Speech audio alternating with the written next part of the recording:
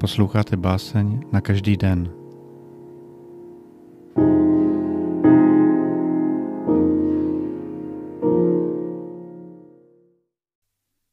Dvacátého pátého srpna 1867 se narodil Sigismund Bouška, kněz, básník, překladatel a literární kritik.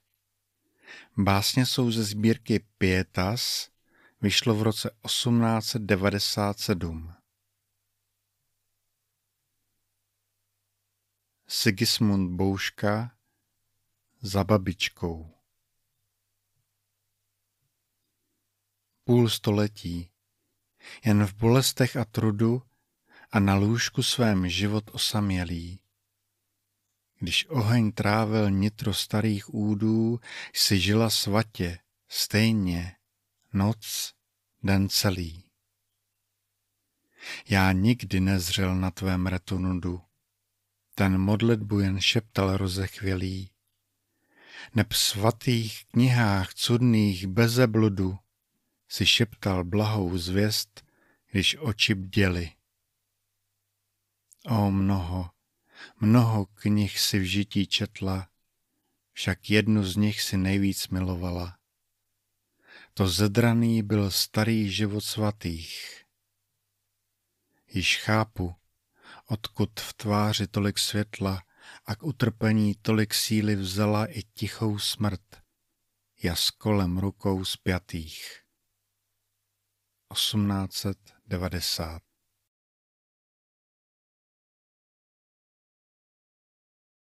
Antonín Kitusy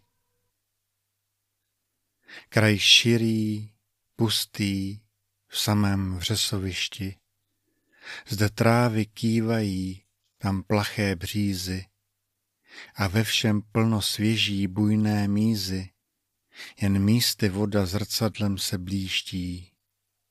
Srb žence tady nikdy nezasviští, vdál spousta mráčků v nekonečnu mizí. V tom bělmu tuším sledy božské řízy, níž moře světla paprsky se tříští. O širá pole, nedozírné stepy, o nekonečna půvab velkolepý. Jen zde dost místa pro tvou duši, mistře, tu nespoutanou v tvůrčím velkém chtění. Ty stvůrce postih ve přírodě bystře a lel svou duši její rozvlnění. 1894